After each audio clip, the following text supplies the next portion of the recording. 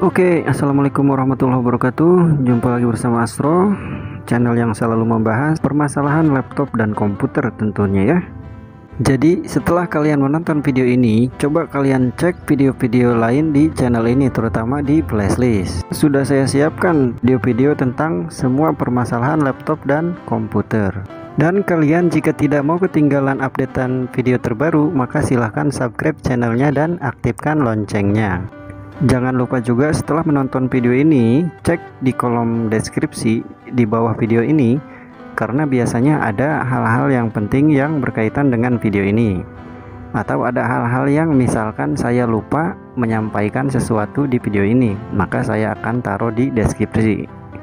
Jadi, kalian tidak akan ketinggalan info ataupun informasi yang belum Oke, tersampaikan. dan lanjut ke pembahasan video ya, yaitu cara mengatasi touchpad laptop Acer yang tidak berfungsi error ya. Jadi permasalahan touchpad ini disebabkan karena driver ya sistem ya. Jadi masalahnya bukan mesin. Kalau misalkan masalahnya mesin touchpad ya tentunya tidak bisa diatasi secara sistem ya. Untuk penyebabnya sendiri akan kita deteksi eh, secara manual ya. Dan saya sudah tahu kuncinya jika ini misalkan ini masalahnya di mesin atau di software gitu ya dia akan saya jelaskan. Namun sebelum teman-teman mendownload drivernya, teman-teman coba perbaiki melalui keyboard ya. Biasanya kan keyboard di atas nih, di atas keyboard ada tulisan F6, F9, F itu itu kan ada gambar simbol touchpad ya. Silakan teman-teman tekan sekali dan coba touchpadnya.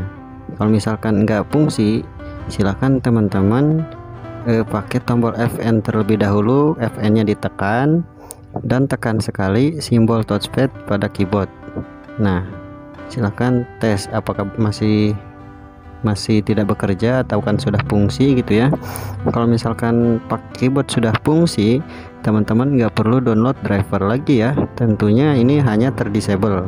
Artinya drivernya masih ada. Silahkan teman-teman coba pakai keyboard dulu ya.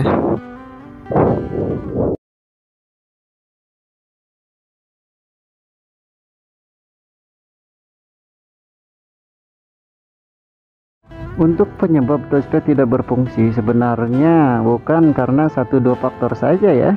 Bisa disebabkan banyak faktor juga.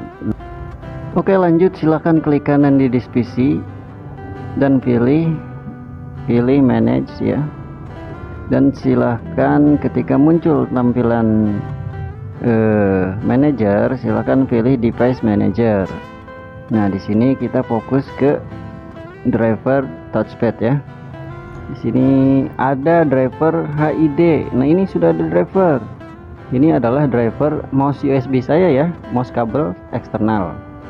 Jadi driver touchpad laptopnya itu tidak ada hilang ya. Akhirnya touchpadnya tidak berfungsi.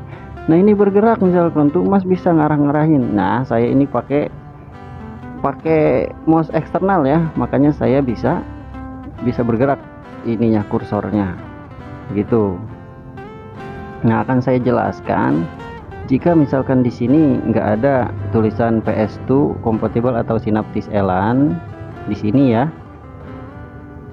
Nah bisa di dilihat ya. Dan nanti akan saya terterakan juga di tampilan kontrol panel. Kita akan mendeteksi kerusakannya.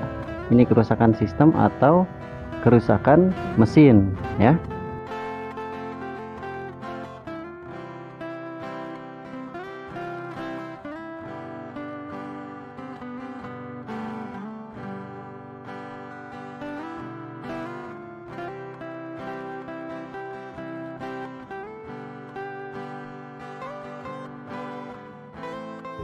Nah, yang harus pahami adalah teman-teman ingat tulisan sinaptis ya.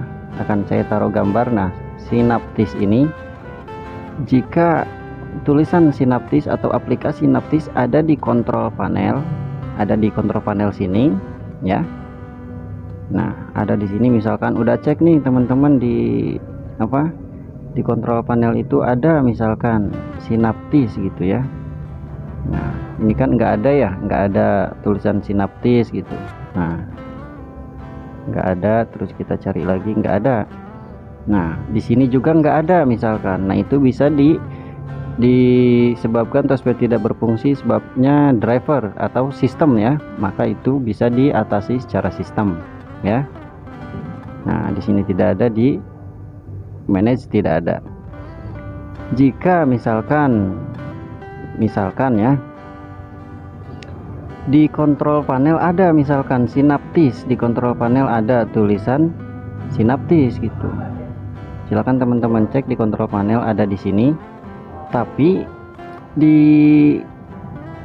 device manager itu tidak ada tulisan sinaptis atau PS2 compatible.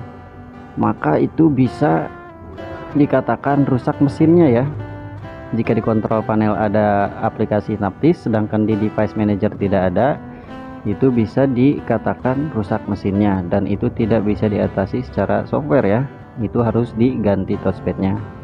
Nah untuk permasalahan laptop ini kebetulan kerusakannya itu sistem. Maka kita akan perbaiki secara sistem. Dan tentunya akan berhasil dan berfungsi kembali dan untuk cara mengatasinya sendiri kita akan mendownload software drivernya di situs website resminya ya. Silahkan teman-teman konekkan internet terlebih dahulu dan buka browser.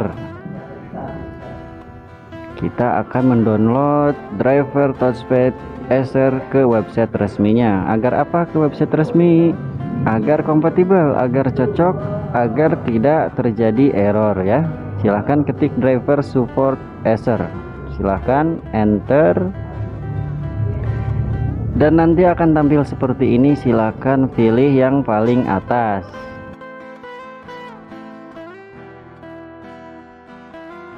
Nah, di sini teman-teman yang harus lakukan adalah memasukkan nomor SNID laptopnya ya. SNID ada di bawah laptopnya. Silahkan teman-teman cek eh, di bawah laptop masing-masing dan tulis di sini.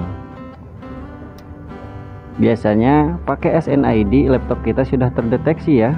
Tapi jika misalkan SNID-nya nggak terdeteksi misalkan contohnya seperti ini nih saya klik cari maka keterangannya SNID nya not found misalkan nah kita pakai kita ganti pakai tipe laptop kita ya. Di sini silakan teman-teman tulis tipe laptopnya. Silakan tulis Aspire terus seri V5 strip 471G nah silahkan tulis sesuai tipe modelnya ya. Bisa dilihat di bawah laptopnya. Ketika sudah terdeteksi silahkan klik saja maka akan diarahkan ke situs download nah ini laptopnya lah ya langsung ke detect langsung ke detect ya Nah, di sini yang harus teman-teman lakukan adalah memilih versi Windows ya. Jangan salah pilih ya. Tentunya kalau salah pilih akan menyebabkan error atau touchpadnya tidak bisa teratasi. Di sini kan ada pilihan Windows 8, 64, Windows 7, 64 atau 32. Silahkan cocokkan dengan sistem teman-teman. Silahkan klik kanan dan pilih properties untuk mengecek sistem kita, sistem laptop kita ya Nah, di sini ketahuan teman-teman. Di sini dia memakai Windows 10 Pro dan sistemnya memakai 64 bit ya. Windows 10 Pro dan sistemnya memakai 64 bit. Nah, ketika sudah tahu silakan close dan lanjut ke situs. Wah, di sini nggak ada pilihan Windows 10 misalkan. Adanya Windows 7 dan Windows 8 Jangan khawatir teman-teman pilih Windows 8 ya. Karena Windows 8 dan Windows 10 masih sinkron untuk masalah driver. Yang penting teman-teman pilih Windows 8 yang paling atas. Nah silahkan klik tanda plus pada tulisan driver. Nah di sinilah kita bisa mendownload driver touchpadnya. Teman-teman silahkan download driver dua-duanya ya. Driver touchpad Synaptis dan Elantech silahkan download. Nah akan terdownload ya. Biasanya jika kita download dua kali misalkan bareng misalkan dia tidak bisa di download ya yang satunya. Maka kita downloadnya satu persatu teman-teman ya. Tuh ini tidak bisa di download kita tunggu sajalah satunya maka kita akan download yang satunya lagi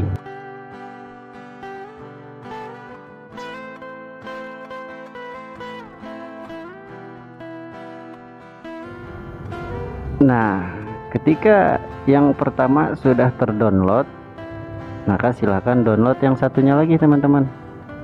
Yang nah yang ini yang belum kita download. Nah, maka dia bisa di-download ya. Ini silahkan teman-teman tunggu saja sampai selesai. Nanti akan saya contohkan cara menginstalnya ya. Cara menginstal driver touchpad. Ya, nah ini sudah selesai. Silahkan teman-teman close saja browsernya. Kita pergi ke nah ini akan saya sertakan aja ya. Nanti akan ada proses installnya. Ini langsung terinstall dan langsung terpasang. Nah silahkan pergi ke eh, ke menu download ke folder download. Karena filenya ada di folder download tentunya ya. Untuk cara menginstalnya sendiri silahkan double klik saja filenya atau drivernya double klik saja. Nah di sini teman-teman double klik lagi ya setup exe ya ekstensinya exe. Silahkan double klik maka proses mengekstrakan sedang berlangsung. Ketika pengekstrakan sudah selesai maka yang harus kita lakukan adalah menginstalnya. Nanti kan ada tampilan eh, tampilan seperti ini nih. Silahkan teman-teman pilih run. Nah dan pilih next. Nah ini cara cara installnya sangat gampangnya. Jadi nggak susah kalau misalkan tetap teman-teman ini masih bingung masih belum paham tanyakan saja di kolom komentar. Nanti akan saya bantu dan saya arahkan. Ini untuk cara penginstalannya ya. Nanti juga di bagian tampilan komputer manajemen si drivernya akan terdeteksi otomatis ya. Ini silahkan teman-teman tunggu saja dengan sabar dan berharap touchpadnya bisa kembali normal dan kita perbaiki tanpa dibawa ke tukang servis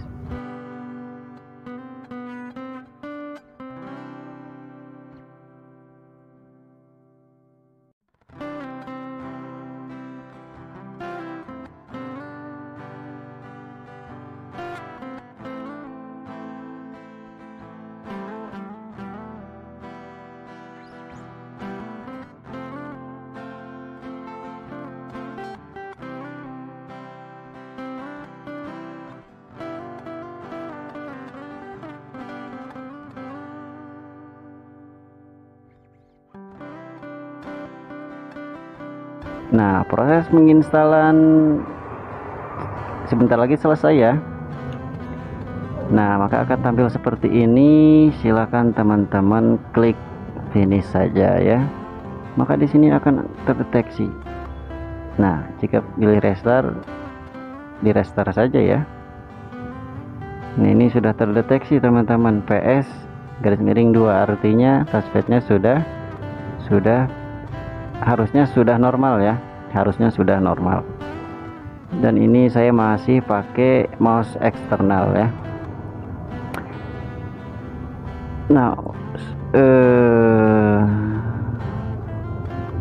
silakan teman-teman ketik kontrol panel lagi dan cek programnya.